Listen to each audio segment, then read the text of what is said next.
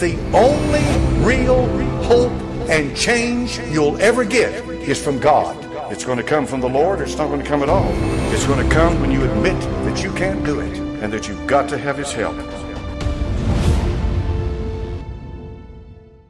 I can't help you outside of faith. It requires faith. It requires your simple belief in Christ, that he did die on the cross for us, and that through his death, and he was a sacrifice, you can repent. It also requires a belief in his gospel. He is the one who told us and gave that knowledge to his disciples that we do not wrestle against flesh and blood, which is to say, you're not at war with your fellow man. You are at war with what manipulates, encourages, or discourages your fellow man. Because at the root of all things is a spiritual happening. The unseen realm that we can't see. That's where confusion begins. Murder began with Satan. Jesus said he was a murderer from the beginning. He's the author of confusion. He is the accuser of the brethren. He opposes the word of God. He is in fact behind whatever happened to you. He utilized somebody against you. If you can see that, if you can see that a spirit was responsible for whatever happened to you, that it manipulated a person, that it nudged a person, you're on your way to being free yourselves. A person cannot be free if they do not forgive. And I mean truly forgive. Forgiveness is not something you do with your mouth. Forgiveness is something that is very real. And you know you have forgiven when you love that person again. If you no longer blame a person, but can see the spirits working behind the scenes in that person's life. You can easily forgive that person. The battle is against spirits. The battle is against the darkness. That's the first step, forgiveness. And you do that so that you can be forgiven. There's something else, something we're going to talk about briefly tonight. It involves Christ. It involves your belief in Christ. In fact, it challenges your belief in Christ. It really does. It's not meant to be offensive. It's meant to comprehend, to analyze, to see for yourselves, to be honest with yourself because there are a great many people we know in the Word of God that by mouth said they believed. Even by their lifestyle, they reflected that belief. But we know they did not believe. They know they did not believe. Some people by way of tradition, by way of habits or their family life, culture, they have certain ways about them that will cause them to seem like believers. But do you believe? That's what we're going to talk about tonight. Because this next step, actually believing, is very important. And it's not believing any way a person believes. It's not believing the way a person would think a belief is. Nope. It's actually believing in Christ. Actually believing His Word. So that you can begin to walk in a power so potent, no darkness can penetrate it ever again. It'll cause you to see the world differently. It'll instantly defeat depression, in most cases sickness. It has rejuvenation, fingerprints. It does. It'll renew your mind. In the Word of God, it says, be transformed by the renewing of your mind, for your mind cannot be renewed if you're thinking in the same patterns, with the same perspective that you did when you were in the world. Time to see a truth. But you see, some people you're going to find out tonight, sometimes the truth is not so easily accepted. Sometimes what is, you're going to find out in most cases, is based on each individual. It's not about how things actually are. It's about how they are. It's about how you are. That's why so many people see things so differently because it's about them. It's why people disagree because it's about them. That's how they see the world through themselves. Now, if everybody saw the world through one eye, nobody would argue. If everybody could see everything in the world through one lens, no one would disagree. But we see the world through ourselves, and sometimes and often it obscures life. And all of you who have had an issue with forgiveness, all of you who have been backstabbed, who have been pierced in the heart from time to time, you have some residue we're going to have to get rid of. It will attack love itself. You know what your father is, right? Your Father in heaven is love, which should let you know instantly. Love is not just some feeling that you have. Long time ago in COT, I established one of those good old COT definitions. And I gave part of an explanation of love. Love is not a feeling. Love is a power. The feeling you get is a residue from love itself. But it within itself is not love at all. Love is not a feeling. We react to love. We react in the presence of love. We react in the absence of love. But love is not a feeling. In fact, love is not what's inside of us, not by way of your biological body. No, love is something different, and it truly is your Father. So let's get to the heart of this topic. So you guys having forgiven people because you understand spirits are working behind them. How many did that? How many could see it was spirits working within people causing them to do what they did? That indeed they've been following you all your life, which is why people have these similar statements and similar phrases they use toward you. They also have similar tactics because it's the exact same spirit that keeps coming back through many different vessels in your life trying to get to you. Listen, they wouldn't try to get to you if you were not a threat to them. Don't get the big head behind that, but it's true. They do not waste their time. They only hit targets that can trouble them, that can really destroy what they're doing. You happen to be one of those. And it's important that you really understand what's happening behind the veil so that you can release people finally and get on with your business as a citizen of the kingdom of God. So having forgiven those in your life, and I hope you have, if you cannot do that yet, you're going to have to resolve the issue of spirits working through people. You're going to have to resolve that. It takes reading. It takes prayer. Most of all, it takes you requesting from the Most High to allow you to see the truth of what's been happening. We have to face some truth here. It is time.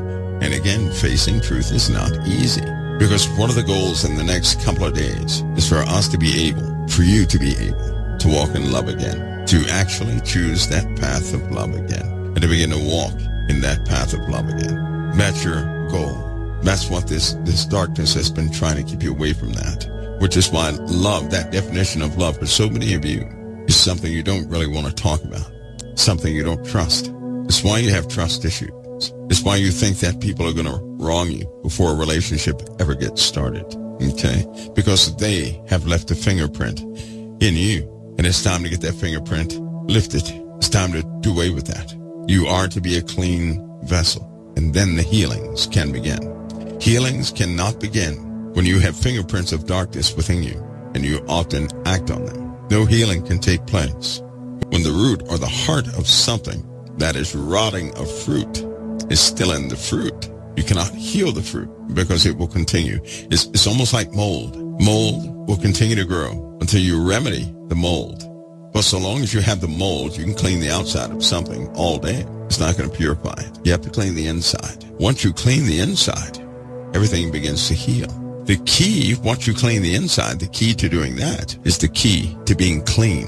The whole thing can be clean. So we start from the inside, not the outside. It does not matter if the outside is clean when the inside is rotting away. Now let me break this for you because your father is so good. Never take offense because you belong to him. And there are some out there that don't belong to him. Many of you, you're not really telling anybody, but you be concerned something biological is eating away at you and it has concerned you. You don't know how it started, but it started and it's almost amplified and it's taking a toll. You don't have to confess this. Just let me talk for a second. But for many of you, certain conditions have formed. These conditions eat away at what was once whole. These conditions vary, but they're all the same thing. Your father loves you, and the only way he can get our attention most often is to reflect things upon our bodies because we will go take care of certain things when our bodies start to collapse, when things go wrong, right? What we don't often realize is the Father is always involved in your life. And things he'll cause manifestations like these to happen to get our attention because ultimately we will, we will most certainly reflect upon it. You don't have to believe that, but it happens all around the world generation to generation. Now, some people who are absolutely devoid of servitude, they can maintain perfect health, but not you, not you, because your father loves you, right? And he, and if he has to, your whole body is of no concern compared to your soul. That means, just like me, if he had to have me a quadriplegic to get my attention, then so be it. You know why? Because your soul is eternal. And so many times we don't think about that. We don't even think that we're about to leave this world on a permanent basis. We don't think about that. Many times we don't believe that, but we are. And once you leave this world, it's eternal. There's no second chances. All this stuff you see on television is suggesting reincarnation. It suggests that a person can come back. It suggests that a person stays here on earth in a different realm to finish up their business and do whatever. I don't believe any of that. I don't believe it because whether you believe it or not, I see a bit differently than the average person. So I can't be fooled in that respect. I know what they are. Once you're done here, you're done and everything here matters and it counts and you cannot do it again. So your father is very serious about you being here and everything in your life is serious, which is why many of you have certain conditions that have to do with decay. It has to do with a running down of your body in specific ways to get your attention because there are still portions of our lives that are just like our bodies. We cleaned up the outside. We did not touch the inside. Now it's time to tackle that. I pray this will assist you in your walk, walking away from what was to walk into a brand new day that you can see, that you can be a witness of the deliverance of Christ for real, so that nothing can ever defeat your faith again. Because situations will try to defeat your faith. People without knowing will attempt that. Satan will certainly attempt that. And you're a target. You've been a target all this time. That's why many of you have talents. You have skill sets, but you will not do them. Do you know why? because you have a worth problem, a worth issue. Confusion when you go to put your hands to something. It's almost like you're assaulted by an army of things, thoughts, and feelings, and it ruins what you're attempting to put your hands to. Then you end up saying, what's the point? It's time to get beyond that. It's time to be whole. Now, we're going to go to the next topic. After forgiveness is your actual faith. Many people, when they come to Christ, they come to Christ in a broken condition. In fact, many people come to Christ in many different conditions. What are the most common conditions? Is a brokenness. Now, I'm not talking about the time when you responded in front of everybody else. And in happiness, you accepted it, you did. But then all too often, people go back home they don't experience any change. Many of you, after you went to some altar, after you did what you did, it was only after that point you had your moment with Christ. That moment was normally by yourself. Nobody else was around in the reality of the cross hit you right in the heart. And you understood in that moment. You understood the cross. For many, it's like their minds and their souls explode with a lot of truth. And in that moment, you see who Christ is most often for the first time. It is a very genuine moment. And you also see the weight of your sins. And then when you go to the cross, you're not playing. You're quite serious. And again, just to make note, you're also by yourselves. By your lonesome. Nobody else is around. Sometimes it begins with a, possibly one of those uh, movies like uh, they used to play Jesus of Nazareth. Uh, Moses, they used to play that a lot, and those movies did affect people and a very positive impact on people, especially lots of soldiers, right? But all too often that happens. You give your life to Christ, and then you begin to feel a difference in that moment by yourselves. Now, it doesn't always happen like that, but everybody has a moment of clarity. Your Father in heaven is not a lawyer. If any choice is given to you from the Most High, you must have comprehension of what you're choosing, and he will present to you darkness and light perfectly that you comprehend both. Both require a situation. Normally, you're thrust into a, an impossible situation that's very dark until you see that it is dark and you begin to notice the contrast and you say, I don't belong here. This is not me. During those moments, you often adopt an attitude that you had to be real with the Lord. And then you start to fight to be genuine. Anybody know what I'm talking about? that fight you have to be genuine with Christ. Nobody on earth knows about this fight but you. It's something you never tell anybody else. It is something that you do. You want to be genuine with Christ. Anybody ever get tired of being a hypocrite? You get tired of appearing to be something you're not inside. You know you're not that person inside. You get tired of that. Those are acts of sincerity. But when you accepted the Lord, many still were hoping he would heal their entire lives. Listen to me. When a person goes to Christ, it is the world that has you looking for something. You do know that. It is the world that brings up a bunch of scriptures of what Jesus will do. It is the world that sows these into people and has them think about that. They really do believe that if they get saved, their situation could be saved. If they get saved, something else can be salvaged or put back together. And they're hopeful for those things. But here's what happens when it does not come. Discouragement falls like heavy rain, massive discouragement. And all the old things rush back. They come back. And you, you've still accepted Christ. But the misery comes. The trials come. The loneliness comes. All sorts of things come. See, had somebody told us the truth in the beginning, there would be no loneliness. There'd be no sorrow. Be none of that. Nobody saying, well, you know, I'm this type person and, and, and so and so is this type person. And so things happen differently. No, they don't. We respond differently because we operate from a philosophy of the world and not of the living God, but of the world. And when we throw that out, everything changes. So it's good to examine that. We're going to examine that with Christ tonight. And again, don't be offended. Please don't be offended. Just hear it out so you can accomplish something. If you guys are not delivered, then all this is in vain. It really is. So I want you guys to turn to Luke 14. And it came to pass as he went to the house of one of the chief Pharisees to eat bread on the Sabbath day. But they watched him. And behold, there was a certain man before him which was the dropsy. And Jesus answering spake unto the lawyers and the Pharisees saying, Is it lawful to heal on the Sabbath day? And they held their place. And he took him and healed him and let him go. And answered them saying, Which of you shall have an ass or an ox fallen in a pit and will not straightway pull him out on the Sabbath day? So Jesus says, Is it lawful to heal on the Sabbath day? There was a person there that had, it, it says here, it says, dropsy is akin to a, well, uh, think of it as palsy or something like that. So a person there was sick. They were maimed. They had a bad disease. And Jesus takes this person and he says, is it lawful to heal on the Sabbath day? And I want you guys to hear me on this because there's a fight involved that you're also involved with. And it's gone to a different level. And it's important that you be victorious in this, always. He says, is it lawful to heal on the Sabbath day? And they held their place and they took him and healed him, right? Let him go. And answering them said, This is what Jesus did. He said, Which one of you is going to have an ass or an ox fall into a pit, will not straightway pull him out on the Sabbath day? And it says, And they could not answer him again to these things.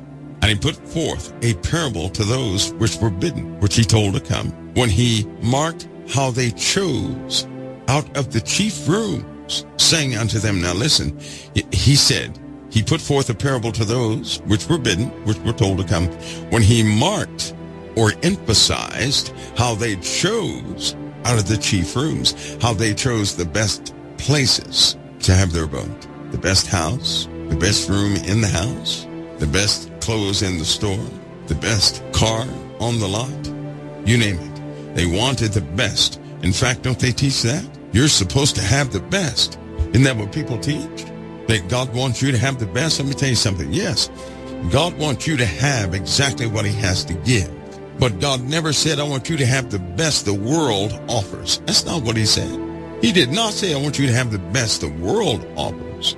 He said, I want you to have the best that I offer, which is everything I offer. But if you're if you're not listen, if if you're not on the same wavelength, you're gonna buy the statement from those who spoke of the world. When men say it, well, God wants you to have the best. Wait a minute, you ought to stop and say the best of what? The best of what the world offers? No, thank you. The best of what? Because they have to clarify that. You see what happens if you leave that open? Now let's read this parable. Jesus says, When thou art bidden of any man to a wedding, sit not down in the highest room, lest a more honorable man than thou be bidden of him. And he that bade thee, he that told you to come. And in him, and say to thee, Give this man a place and thou begin with the same, with, with shame to take the lowest room. Here's a scenario. You're invited to a wedding. He says, don't go, don't go get the best place, lest a more honorable person than you show up. In the room that you just had, which was the best, they give it to the next guy that came in that was better than you, that they deemed better than you. Listen, that they deemed better than you. And they tell you to get out of that room and go to the lower place and you do so with shame because they're housing somebody else. Do you guys listen? That means this is a this is one of those life situations that people don't even know about. He just said He just said, when you are invited to a wedding, do not take the best accommodations because somebody else will surely come who men will count more worthy than you, more honorable than you, more valuable than you are. And they will take you out of the place you chose, putting you in a lower room or establishment, and then put that other person in that place where you were. You know what that will breed within you? Loss, worthlessness. You'll feel worthless. There was a person with you in your life. Now listen, Jesus speaks this way. These are Satan's ploys in your life. There was a person in your life, and they put you in a high position. But all of a sudden, they took you out of that high position. Whatever you were receiving from this individual, it stopped, and somebody else started receiving it right in front of your face. And it tore you to shreds on the inside. Everybody awake? It ripped your, ripped something out of you. It made you feel, this happens in people's families. Listen, and it's, the people don't know they're doing it. They have no idea they're doing it. They have no idea that they're taking from you, giving it to somebody else, but in your eyes, you're seeing them withdraw something from you, giving it to somebody else, causing you to feel like you're nothing, praising somebody else when you labored and did all the work, when you established something first and almost, you know, gave up a lot doing it. And then they could so easily look past you into somebody else. You know who does that?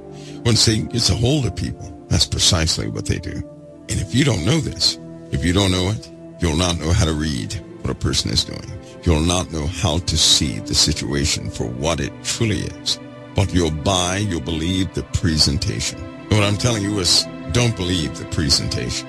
Know the principles of Christ and the activities of Satan. You'll see them everywhere in your life. You don't respond against the person. The person has no idea they're orchestrating this, but Satan does. And when he tears you down, and when he defeats you, when men, when people make you feel like nothing, do you not know that you feel worthless to the Most High?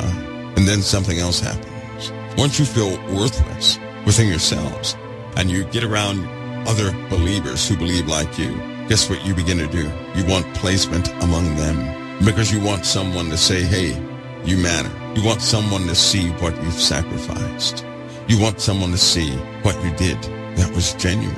When you get that way, you end up competing with everybody else, entering into things you shouldn't. For example, why would a biblical argument ever take place in the first place? If we all know God is right, and we all know that we are flawed, why would there ever be a biblical argument? It's when we try to prove ourselves to somebody else because they don't know we're hanging on a thin rope. They don't know that all somebody had to do, some of you with your parents, all your parents had to do was say, job well done.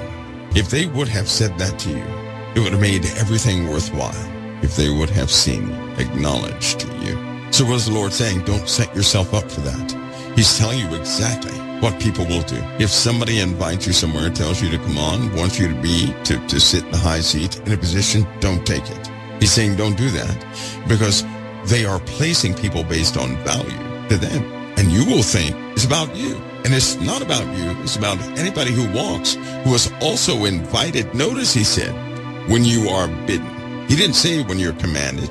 That's not what he said. He said when you're invited, when you're invited to come to a function or to come in somebody else's thing, he said, sit not down in the highest room. Don't sit down in the highest room. Don't take the highest room. He said, less a more honorable man than, than you be bidden of him.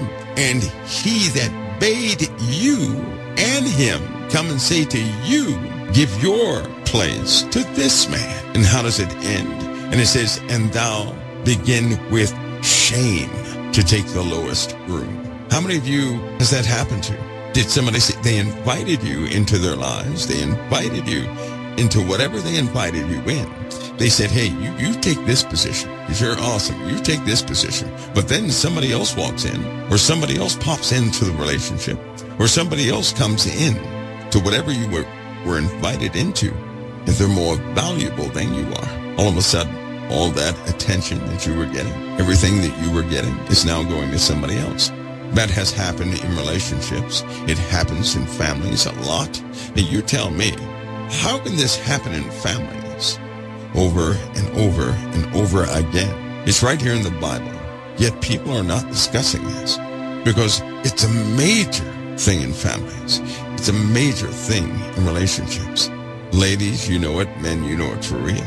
Men know this one better than you ladies. They know what it is for someone to depend on them. They know what it is for someone to look to them because men are natural born providers. They know what that is.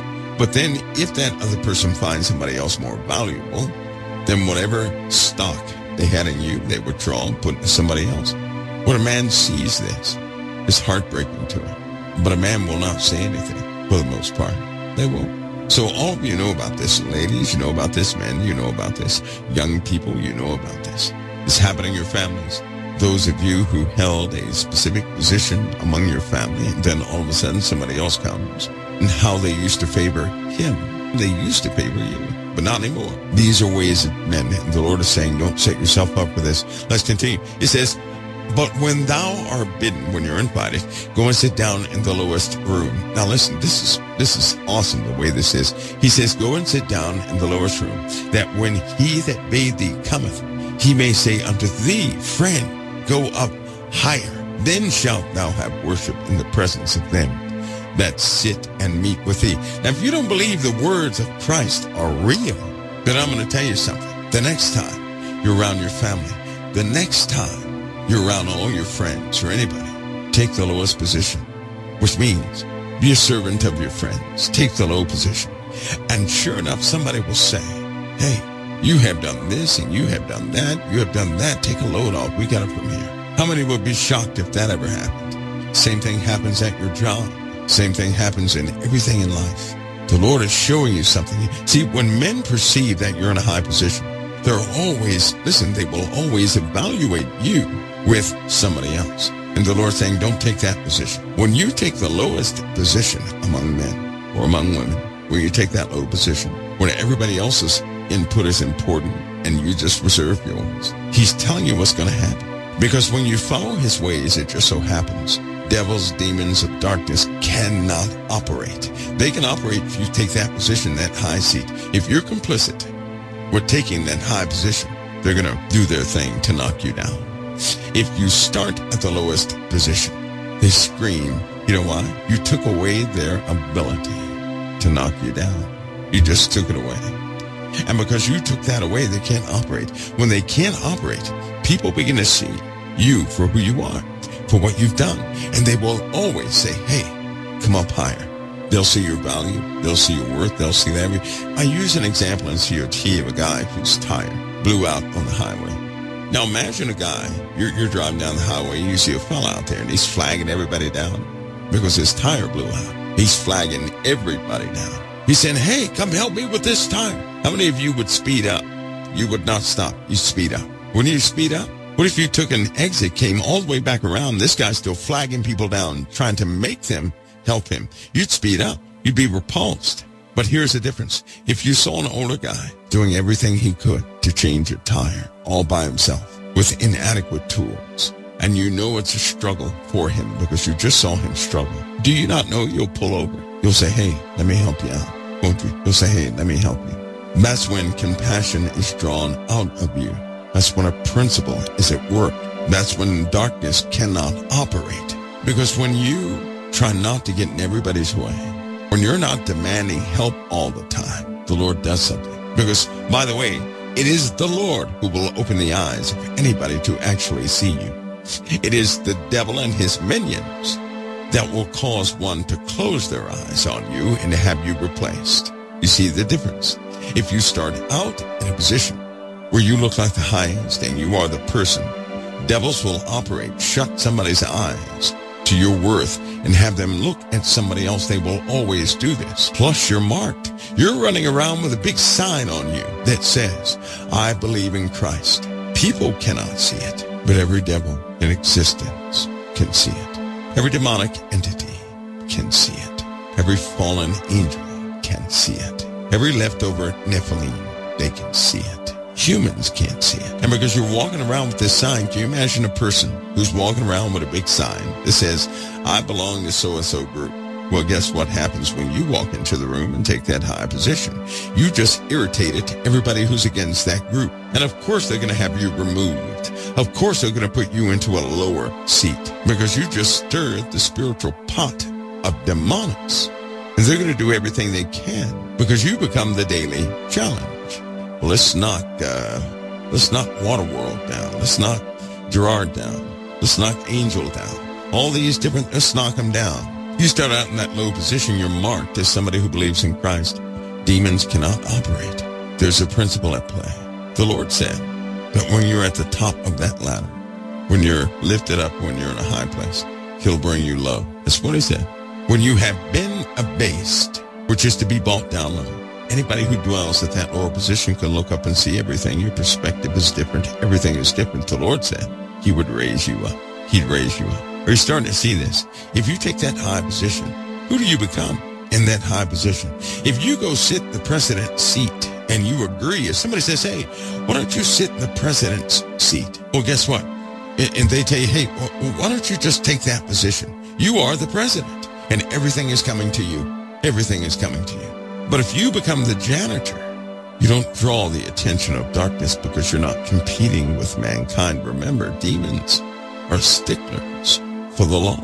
Do you know that? And do you guys know about meekness and temperance?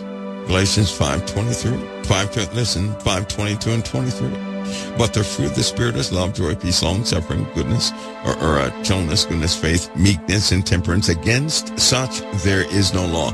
Demons want to accuse you of breaking the law. Satan wants to accuse you of breaking the law. So what do you do? You cannot step into a position of highness right away because we can't keep the law if we try. But if you take that humble position, there is no law and demons cannot touch you. There it is. They will touch you if you're one of those who's trying to uphold the law all by yourself. If you step into a position and brag how you're keeping the law, well, they're coming after you. They're going to make an example out of you, and they will succeed in knocking you down. But if you are already in that humble position, if you're already full of meekness and the fruits of the Spirit, basically, against such there is no law. And where there's no law, you don't have the opposers of the law coming to you. Do you see that? Hey, this is part of your self-defense and a true walk here. The Lord is opening your eyes. This is spiritual combat. Let's continue. He says, listen, after he gives this advice, Luke 14, 11 says, For whosoever exalteth himself shall be abased, and he that humbleth himself will be exalted. There it is. How many of you have messed up that principle? Uh, Lord knows, I did this so many times. You know how when you when I was young, right? I, I took everything apart and put it back together. I used to fix people's things. Now, but I didn't open my big choppers. I do a great job. Say, for example, somebody threw something away. They said, oh, you can have this. It doesn't work anymore, right? So I would fix it up. And after I got it back in perfect working order, the person would come back and say, yeah, I think I want my thing back. They do it all the time. But here's the key. I was able to fix it and enhance it. My parents did not like the fact that people would come back with their stuff only after I had essentially restored it. But there was, I remember one time somebody said, uh, you know, can you fix it? Oh yeah, I can fix that. You know how many things I've fixed? I've fixed a lot of things. And do you know what happened? I couldn't fix it. In fact, I messed it all up. I mean, I messed it up beyond repair. And it happened again. And I noticed something. Every time I give my credentials to another person, there's no blessing in my hands. I learned this early. No blessing. But every time I take the lowly path, my hands are always different. You know how when you're plunking with something, then all of a sudden it starts working. And somebody says, well, what did you do? And you know in your heart, you didn't do anything. You don't know what you did. It just started working. I was even tested on that. People would have broke things. They'd hand it to me. All of a sudden, they would start working. Get it back one day. Somebody said, uh, they, it was a group of people, and they said, did you get that fixed? I said, yes. And the guy turned around and said, I told you we could depend upon him. And I'm sitting there blown up in the head like, oh, this worked in my favor. The same day it broke down again, worse than the first time. Then they bought it to me and I couldn't fix it. And then the reputation was gone as being the person they could count on to have something fixed. All because, all because I sat there and let them think that the lie they had within them that I fixed it was true and it was not. So I learned from that one too. And people would then bring things to me and the same thing would happen before I could apply everything, it would just all of a sudden start to work. And they would say, wow, you're good. You, you know, you're really good. And I said, nope, that's not me. Call it a good touch. Call it this. I said, but I'm, let me tell you something. I took two screws out. The thing started working. And it worked for life. It is, it worked. In most cases, it outlasted everything else they had. I got used to telling people that wasn't me. That was the Lord guiding me. Had to be, not me. And when I do that, nothing breaks down. I used to convert a lot of kid, a lot of computers and convert them for modern operating systems and give them back to the schools. So all the schools that I gave to, they have computers for the kids. And I donated. One time, some board folks had called me, got in contact with me somehow. And uh, so I, you know, I talked to him a little bit. And they said, uh, you know, you're, you got a fast turnaround on this stuff. And we have a warehouse full of so-and-so. We'd like you to get this done for universities and we're willing to do this. And I had to tell him, no, I can't do that for any contract. And they were just puzzled because it was, it was outrageous. I would never take a job like that where I would accept any money for something I'm doing to help out somebody else. Because I know the day I do, kaput. Plus, it's outside of the principle of humility. Now, I've seen others try it. I knew what was going to happen and it failed. Now, listen, I'm telling you guys all of this and this parable to let you know something. There are principles. And in your moments where you don't know when or how to do something, there are principles that should guide your life. The Lord gently shares parables with us. And if you apply them to hear them and then to do them and then reflect upon your own life, you're going to see the truth in them. And once you see that truth, they become something greater than a parable. See, God's principles never, ever fail. Our attitudes draw things to us, negative things, and it gets overwhelming. Like when you guys invited someone into your life that you shouldn't have. And when you did, you couldn't get rid of the person. They bought everything down and then you hopped and moved somewhere else thinking somehow a new environment is the answer. But then you invite the same type of person back into your life again and your environment of peace turns into HE double hockey sticks again. That's when you discover when the Lord blesses me with something of peace, I've got to check everybody at the door. You can't allow anything to come into your life and to rob you of the peace the Lord has bestowed upon you. Nothing can steal your peace, but you keep giving your peace to something else that dominates your household while you're in it. See, when you had those moments of peace, it was your house. It was your standard. But then slowly but surely, you start giving into things called relaxation of the world. When you do that, you're allowing these dominant forces to come into your environment, rip it to shreds. So you can't afford to ever do that again. You check everything at your door. Everything. Do you guys have that? I'm telling you these things because over the course of your lives, certainly if you're listening to me tonight, all these things have worked against you collectively, causing you to be in specific positions. It seems like you can't escape. And I'm just giving you real world examples of parables that are taking place in your life all the time. You can undo them and they would help you throughout the rest of the process. But when you have openly invited invaders into your abode, nobody can help you until you do something about it. You have to do something about that. Let me continue because this is about to get good. Then said he also to him that made him, to the one that called called him to, he says, When thou makest a dinner or a supper, call not thy friends, nor thy brethren, nor thy kinsmen, nor thy neighbors, lest they also bid thee again, and recompense be made for thee. But when thou makest a feast, call the poor, the maimed, the lame, the blind. Oh, remember I said, don't be offended. How many times have you guys performed something? You got excited. You said, wow, I want, my, I want my best friends here. I want this here. Hey guys, let's come over. I fixed this pretty neat thing. I think you'll enjoy. Come over, let's enjoy. How many have done that? How many of you have accomplished something and you couldn't wait to tell one of the people that are supposed to be your family or even your friends? How many have done that? How many of you have prepared something and you invite your family and friends to partake of it? You know what the Lord says? Don't do that. Boy, it just confused everybody. He said, don't do that. You know how in the world they say, hey, you should have people over your house, your family over your house all the time. And nope. Lord saying, don't do it. Why? We're about to learn why. So let me read this again. He says, when you make a dinner or a supper, call not your friends nor your brethren, neither your kinsmen, nor your rich neighbors, lest they also bid thee again and recompense thee, uh, or recompense be made to thee. He said, but when you make a feast, call the poor, the maimed, the lame, and the blind, and thou shalt be blessed, for they cannot recompense thee. They cannot repay you. Now, let, let me, let me get this right. So he says, don't make something for someone who can partake of what you did and then repay you somehow. You know how you say, hey, cousin Fufichu, I'm going to go ahead and cut your grass this week. And then after you cut their grass, they come, they say, hey, I'll pay you if you cut my grass again the way you did. And you're like, yes, that's just what I wanted. And then, you know, it's a business. You can't be blessed for that because what you're blessed with is payment. It's just payment. That's your blessing. What the Lord is saying is this, go and render things to those who cannot repay you so your Father in heaven can bless you. Whatever you do, do things in love for those who cannot repay you. You're about to learn why. Let's continue to read. He says, you'll be blessed.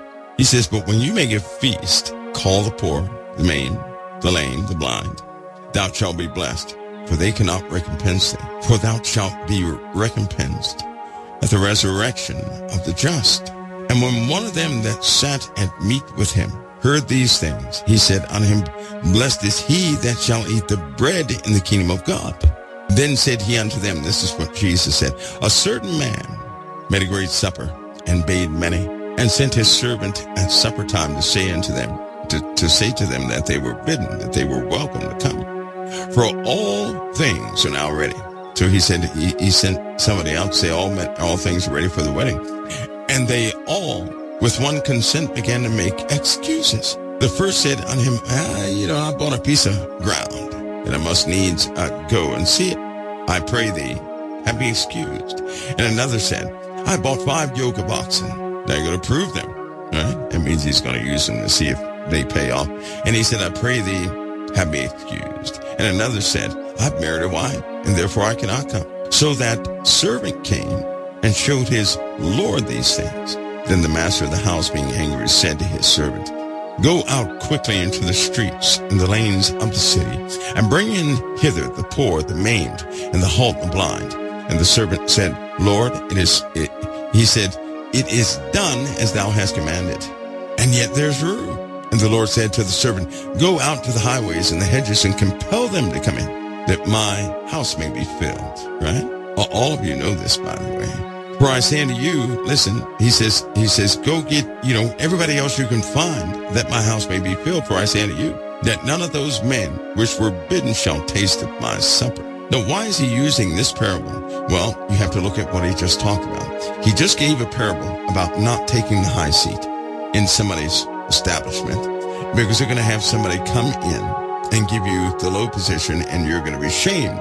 He said, you, listen, he said, you come in when you're bidden, when you're invited to something, you come in and take the low position. And he said, why? Why? His, his example is why. He's giving you a principle that everything, he said, everything, everything, whatsoever exalteth himself shall be abased. Whatever thinks of himself to be high is going to be brought low. He says, and he that humbleth himself the one that takes that low position because he sees everybody else is more valuable than he. The Lord says that person is going to be exalted. First principle. Now, many of you, you've gotten knocked down a lot, but I want you to think of something too. When you were knocked down, was it not that you, by the world's definition, were attempting to accomplish some things, right? You wanted success, success, success. And so being successful, part of that in this world is presentation. And so what do people right now present themselves as? Qualified. I hear arguments all the time and people say, oh, but I have my certifications for this and for that. I hear, you know, I heard two pastors talking about that, about their experience in an argument. They were talking about experience and one had delivered, you know, a lot of people and the other one didn't deliver so much and the other one did this over the other one. Well, the Lord is showing us a principle of our Father. Listen, I'm going to tell you something. The world, they operate by the principles. The rich people of the world operate by the principles of Christ. And you know the person of Christ. And it's time that you employ the principles of Christ. If you employ the principles, you will both know the Christ and be blessed by him. You cannot be blessed by the living God when you defy his ways. And he's sharing something with you. See, people have made it a point to give messages of blessings. And the Lord is showing you how to get blessed the Father's way, not the mythical way. That if you take that humble position in everything, you will be exalted. But if you take that high position in everything, you will be abased. You're going to be brought down low. Why does this matter to you over everybody else? Because you believe in Christ. That's why. How many times in your life have you been knocked all the way down to the bottom? As soon as it looked like you were at the top. How many times have you said, why is this situation happening to me again? Why do I break out and start to make it? And this series of events knocks me down to the bottom. And you become depressed and discouraged and tired because you're operating outside of the principles of the living God. Consequently, he's not just telling you to do this so you can get something from him. It's a known fact that if anybody who truly believes takes the path of humility and meekness, then that person will begin to see what they never saw before. Now you have to be a believer to have this happen to you, but you'll begin to see what you never saw before. That's a fact. You cannot be blessed if you're lifted up internally all by yourself, thinking that somehow you're worth more than the other person. You're more knowledgeable than the other person, more qualified than the other person. You will not be blessed the most high with that. And how many of you know you've had good positions, but something came to rob every dime you ever had? Some situation would come to you out of the blue to take the leftovers nobody else knew about. If you had 17 bucks left in your wallet after losing 17,000, some issue would pop up and somebody's going to need what? 17 bucks, the very last that's in your wallet. How many people have those supernatural friends or family and you think they have a, some kind of camera in your wallet? Come on now, it's a good time for a confession. How many of you have had a specific amount of money and somebody who's always asking for this and the other, they can by and ask for that, that amount? How many have gotten where they need to be and then an accident with somebody took place? And it just so happens you were not covered medically for that accident. Yet weird stuff like that happens. The Lord has shown you what these principles are, how not, how not to be on the negative side of these principles, but he will also show you why he does this. Can I interject something? The word is so rich. Not only did Jesus speak about the parables, but he gave you principles within the parables you could easily relate and understand. But not only did he do that, he turned around and told you why the Father works by way of these principles. Third, you sit at the beginning of a massive event that will cause a deep regret within about, I'd say, 90% of the inhabitants of the earth. The deepest regret anybody has ever had, they will have. And it will engulf 90% of those who live on the face of the earth right now. When that time comes, there are going to be so many people who feel cursed rather than blessed. There are going to be people hurt, crushed, and everything else because it happened too quickly. You are not to be one of those who are not flourishing in that time. You are not to be one of the people who will carry the curse of curses in that time. You're to be the ones who are free. You are to be the reason these things come in the first place. But you cannot think of yourself as higher than anybody else on this earth. That's not your Father's way. And it carries punishment. It carries decay. You'll have no life doing things that way. The Lord communicates to us that we're going to absolutely rot down to the core if we continue to live our lives by these earthly standards, discarding his ways of truth. That means your situation, the one you're having right now, is not comparable to the one that's coming. But even the one right now will start to consume you totally. That path of humility is something you really must to understand. We're not talking about weakness. See, because let me tell you guys something about strength and weakness. Do you not know it's easy to lash back out at somebody? It's so easy. It's easy to retaliate. It is not easy to take everything that somebody could ever give and to stand and never accuse them. That's not easy. It's not easy to sacrifice all that you have. And then those, I'll, I'll give you a real world example see what you would do. Imagine yourselves, you're deep undercover and you're helping people a lot, But then one of the people you help comes back and they launch a campaign against you, a hate campaign. You know, they go through the routine, how, you know, ignorant you are and that, uh, you know, you're the, you're the, you're some AI matrix, something, you're fake, phony. They use all the words. And then you find out this person is in trouble again. And you sacrifice every meal you would eat for a month so this person would have a home. Now they have an active campaign and you do what you do anonymously. So instead of withdrawing your kind heart to the person, you sacrifice everything you were about to consume upon yourself for the month. Your budget for the month you sacrifice and give it to the person who launched a hate campaign against you. How would you feel after doing that? How many of you would feel pretty good after doing that? That means you're not going to eat for a month. That means you're really not going to eat for a month. But at least this guy has a home. The same guy is tearing you down every single day with grievous things. And imagine another month pops up and they still need help. They're not out of the red yet. So you do it again. Now, having sacrificed and starved yourself, let's say you lost maybe 100 pounds, right? 100, uh, just make it 150. And this person still does the same thing, but you never waver. You never waver in your assistance towards them. How many of you would feel like you have done the dumbest thing on the planet? How many would feel that way? That'd be hard to do, wouldn't it? Would that be difficult for you guys to do? Would it be difficult for you guys to still sacrifice to the one who's launching a hate campaign against you? Would it be difficult? Somebody says, I couldn't do it twice. Good answer. Somebody says, yes, it's a good answer. Let me tell you why yes and I couldn't do it twice is a good answer.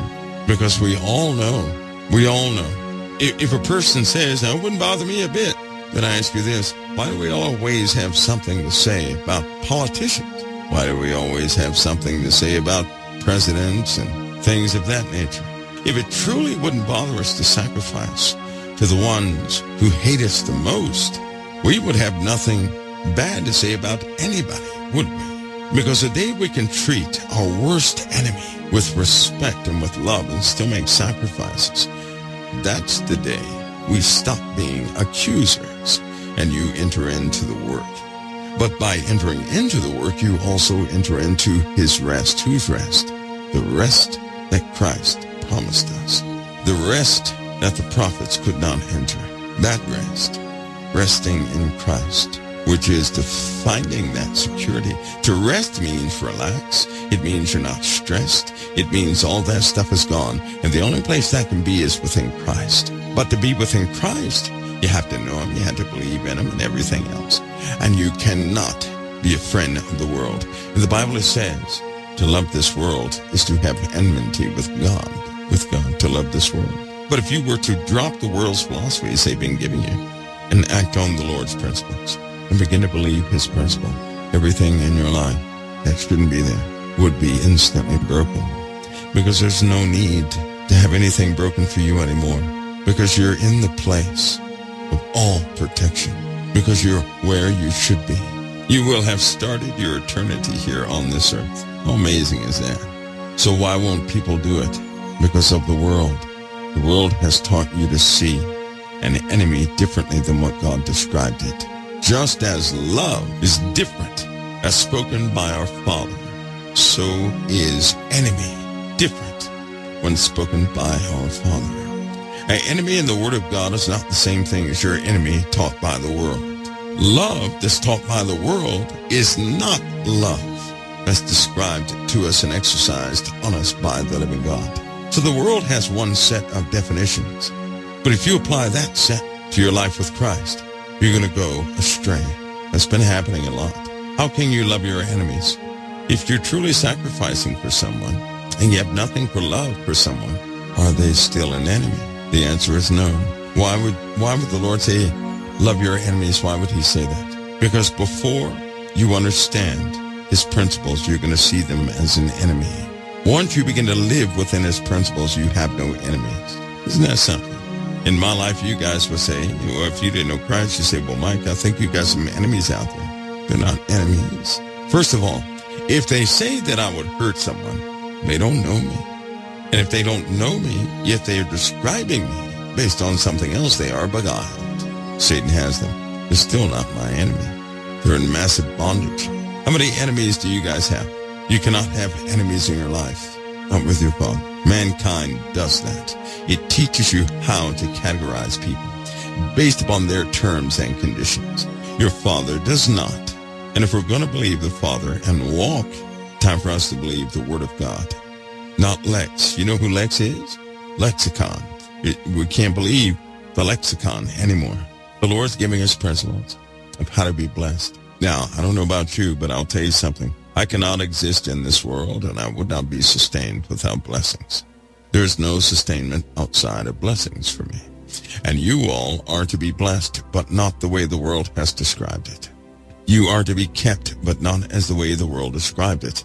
And the only way to be actually blessed is to see these parables in truth. I mean, really see them, to walk and operate within them, because they are, in fact, godly principles, and they will never change. Some of you, you cannot begin specific things until you are blessed, because you are supposed to be blessed, not cursed. Do you all know that? You are not supposed to be cursed. You're not supposed to have the same attitude the world does in anything. And you are not supposed to be blind nor inhibited. You are supposed to be whole. So what's stopping it? We are. We're stopping it because we keep taking the high seat. We keep taking the places where we can be esteemed. We keep wanting to be recognized. We're actually trying to make those and those archetypes, the people and their types, accept us because they originally rejected us. Did you know that when somebody rejects you, you'll find yourself going back and going back and going back again to attempt to prove to them that you're worth something, especially for those who have called you nothing? Do you know that? Why would a family member go to another family member with the word of God knowing that they're not going to listen to them? Why would a person ever do that? Can anybody answer that? A lot of people say, out of great concern, Really? But you went to them more than once, and more than once they said, hey, I'm not talking to you about this. Because here it is, you ready? In too many cases, we want to be the one that participated in their salvation. We want to be the ones that hold that seed of importance in their lives. But why is that? Because those are the ones who rejected you. Those are the ones, the very ones who rejected you, the very ones who withheld their love, the very ones that betrayed you, People are running around with a strong desire to be seen. When they do that, they take it upon themselves to do a great many things with their families. If the Lord sends you, that's a different story. If we send ourselves, that's when the whole vehicle gets stuck. That's when the whole truck is stuck in the sands. But when the Lord sends us, he made us a highway to get there. When we send ourselves, we get stuck on rough terrain. Why would we ever choose to do that in the first place? I'll say it again. Because we have been hurt, we want someone to accept us, to see what we are, to see our value, to let us know that we have some value because we, and, and you know what, halftime we don't see this because we're starving. Most Christians are starving and they shouldn't be. And I'm giving you the reasons why. Something that all of you must overcome because listen, these are also called footholds. You guys know what a foothold is? A foothold is when you can put your foot in something and you'll no longer fall off whatever you put your foot in. Demonic entities in darkness have a foothold in many of us. Uh-oh. They have a foothold. And we made that foothold and refused to move it. They cause people to crave sinful things and to the point where you give in and do it and you feel like trash afterward. How you purposely engaged in it and that's when you noticed, locked up inside you, are wounds that have never been touched. Once you're free of that, though, that's when everything you look at becomes twice as bright. Have you guys ever heard of a person when no spirits are with them at all, when they're free of spirits, one of the first things is they become very thankful and full of peace and joy. So let me ask you this. How many people have their peace disrupted? How many people's peace is disrupted? If something is shattering your peace, it has fed you a vision, or an interpretation of something that is absolutely not of your Father. The next step is to get your peace back. You have forgiven. Now you need your peace back. Remember that peace you had when you were tiny? Many of you remember. Some of you don't. But when you were tiny, there were times when everything was all right. Sometimes in your adult years, the same thing. It was when everything was all right. But somehow you knew something was going to happen. You knew you could feel it trying to press its way in. Something didn't like your situation being in peace, and it instantly was drawn to it and began to exploit your spiritual house for breaches, weaknesses, open windows and doors so it could come in and shed its darkness all over the place. In fact, that was the time when you had something I call grade vision. It's when everything got a bit darker. Your peace was stolen. This parable about the ones invited. The Lord's also given us a type roadmap of what's happening. He said that none of those men which were bidden shall taste of my supper, the ones who were initially invited. Now he said his supper. Why were they so busy? Does anybody know? You ever have someone invite you to dinner or to invite you to anything? And I'm so, so guilty of this. Somebody invites you to something, all of a sudden, you come up, you, you have a lot to do. You're busy. You can't make it. When we are too busy with our own lives, we prioritize ourselves as first. Everything else is secondary. When we have a problem, we prioritize that problem as the number one issue in our lives and everything else is secondary. What does the Lord say? When it comes to Him, when He has invited us to walk in His ways, all too often we're too busy with our own lives to pay total attention until something happens to what happens to you guys. Until you start having experiences, your nights are disrupted, things start going down the tubes, all sorts of things, deeper challenges. And why? Look back in your life at the time when you really didn't have time for Christ. You guys remember that? You were still going to church and you still loved him, but you did not have time to do things his way because you already had a way and you were trying to get your work done so you could sit down, lastly, and listen to what the Lord said. We do that all too often. Now he warned us and he said that none of those men which were bidden, the first ones, come to the dinner. And they were too busy. They gave excuses. He said they will not taste of his supper. They won't taste of the meal he prepared for all of them. Keep in mind, if you go to a wedding, a meal is prepared for everybody, not just those who are getting married. Everybody takes part. But if you're too busy, you can't come. If you're if you just recently started something, you can't do it. This is precisely what we have done. And in so doing, what do we do? Because we're so busy, we fill in the blanks missing the heart of most real things.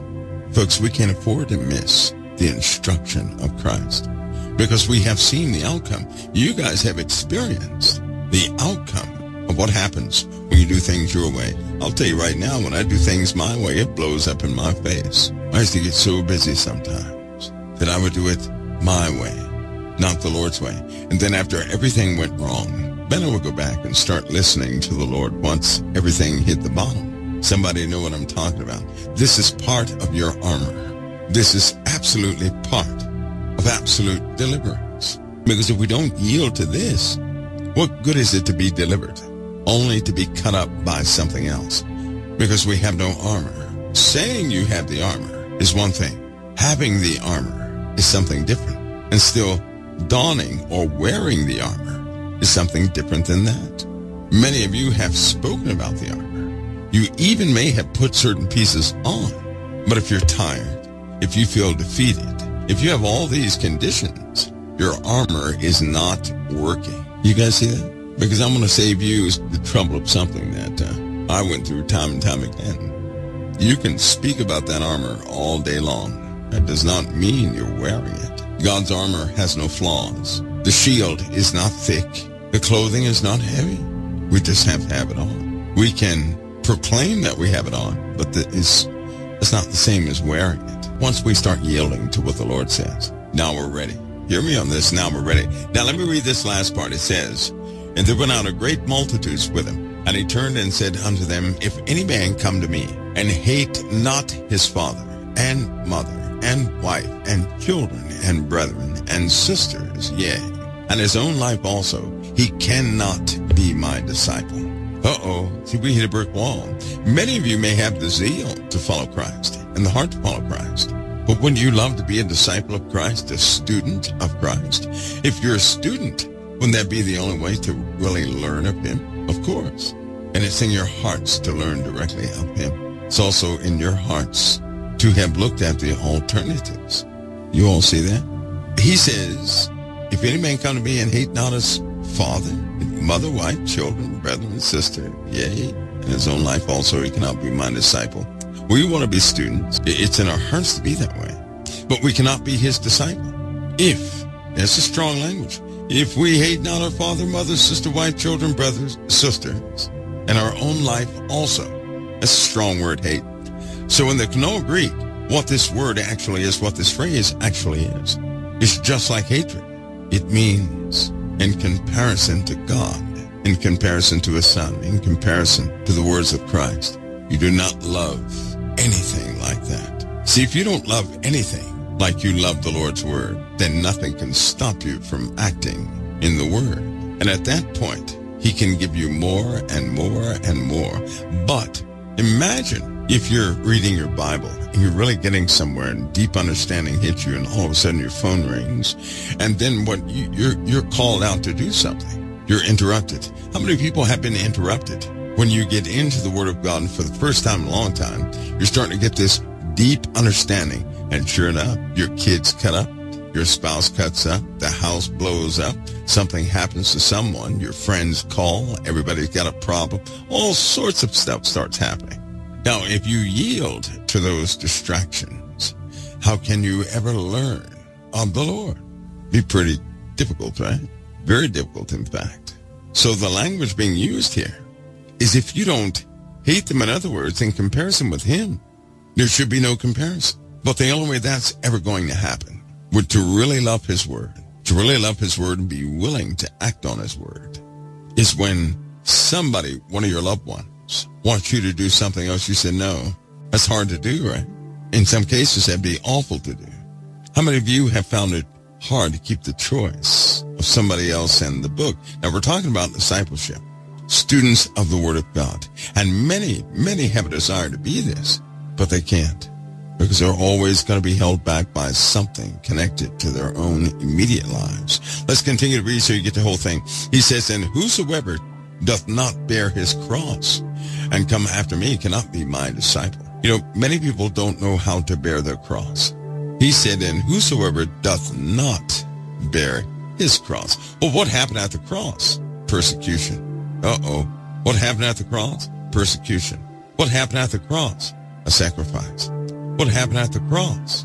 Jesus died. Let me continue. For if you intending to build a tower sitteth not down first and counteth the cost, whether he have sufficient to finish it, lest happily after he hath laid the foundation and is not able to finish, all that behold it begin to mock him, saying, This man began to build and was not able to finish. Or what king going to make war against another king sitteth not down first to consulteth, whether he be able with ten thousand to meet him that cometh against him with twenty thousand, or else, while the other is yet far off, he sendeth an ambass- uh, ambassage, ambassador, or messenger, and desireth conditions of peace. So likewise, whosoever he be of you that forsaketh not all that he hath, he cannot be my disciple. What's the Lord saying? How many times has the Lord put something in you, all of you, who are having these strange experiences? How many times has the Lord put something in you, but you could not do anything about it because of the people around you, because of your position, the optics, how people are going to look at you. In this world of social media, you can't be seen doing everything and expect to keep the masses. Because in this world of social media, somebody can absolutely say something and make you close your Bible to go and dress whatever they said. They can alter or shift your servitude based on what is said. They can do a great many things based on what you've said. But to all those who are willing to give up some things, who are willing to forsake some things, those are the ones, those are the ones who end up doing the beautiful kingdom work. But the Lord put that in your hearts to do a kingdom work for real. What has been stopping you? What's been stopping any of you from doing kingdom work? The work you love the most. What has been stopping you? What puts a halt on your prayer time? What puts a halt in your study time? What stops all these things? It's when we see the value of something else higher than the gospel. Here we go, right back to perspective. When we see other things more important, we prioritize. If you guys got sick, if one of you got sick, just one person, if they got sick, how many people would just, you know, stop their broadcast for that sick person and not go forward with what the Lord gave them in the first place? How many people would, when the Lord hears one, when the Lord calls you to go and embrace someone, but your family says no, or your family has something else to do that's silly, stopping you from going to embrace that person? That's what the Lord is talking about here. When you have other priorities that can come along and they're more important than the gospel. Because to be his disciple means eventually you're going to be filled with the Holy Spirit and power of the Holy Spirit to work to be a child of the kingdom of God. So I'll ask, I'll ask, are you guys ready to uh, really walk forward with Christ?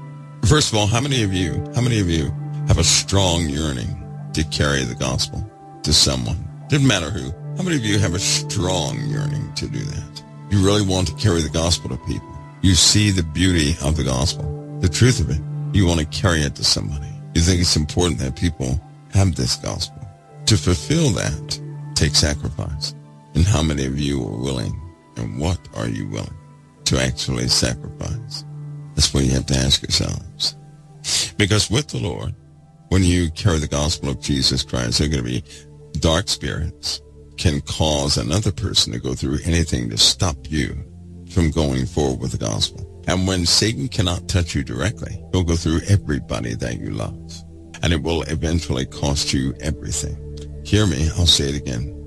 The gospel is going to cost you everything. In this last parable, the Lord is speaking of the importance of the gospel. You guys have a yearning inside you to carry the gospel to somebody else, but you're stopped in your tracks by those around you and other people who tend to influence you. You're also the one contacted by individuals, and they seek to change how you believe. And you must be careful you don't carry a message of change within you. That when you talk to somebody else, you start molding them in a gospel that does not exist. There are too many cases where even married people have wanted to go forward with the gospel of Jesus Christ, but they could not do it. And the Lord has given, he's given a warning of this. So here it is. If you, because you are the ones who are at the midnight hour having, some of you have extraordinary issues. But what you may not know is that you're marked. So then evil spirits know exactly what you are. But going forward with the gospel is why circumstances keeps you away from everybody. How many of you would agree that something is trying to keep people away from you? How many people have the rumor mill started up on them? His tactics. Once you see his tactics and reevaluate yourselves. For example, I follow Christ for the purpose of Christ. I don't follow him for any healing. Not following Christ for anything I get out of him. I'm not doing that. If many other people would do that, if they would follow Christ because he's Christ, follow him out of respect and honor, knowing what he did, you become unstoppable. It won't do Satan any good to work through anybody against you because nothing at that point is going to work. It's important that you guys have a faith-based walk, and so you have forgiven those who have done something against you. Now it's time to walk with Christ, not to get something, but to walk with him because you agree with this gospel and because you want to help him accomplish what he came here to accomplish. And just in case you don't know what he came here to accomplish, he came here to undo the works of darkness in people. God will stop what Satan is doing everywhere else. But in people, there's a dark work happening. Jesus walked this earth. He did what he did. And all too often, we think or we're following Christ for not necessarily the right reasons. And we're obedient, not necessarily for the right reasons. And this is what I want you to see. I want you to simplify your walk with Christ, not to get something out of it, but because you believe in what he established. How many of you believe in the gospel, the good news that, that all men should be given the opportunity by God Almighty to repent and to be saved and to be washed and to be cleansed? You are that element in the earth that will be used to break the assaults of darkness. Let's hope. I'm, I'm going to say after this, after this small challenge, this is the first one, just to evaluate Christ, you're following of him, not for perks, but because you believe in his word.